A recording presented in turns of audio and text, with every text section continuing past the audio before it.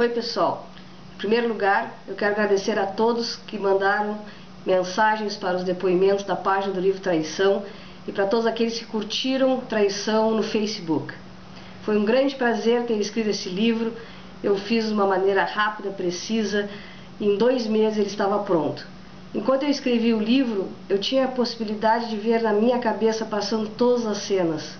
E eu pensei que isso poderia ser a razão de transformar traição em um filme. Portanto, hoje eu estou à procura de um diretor, um diretor que transforme esse livro em um filme. Alguém por aí?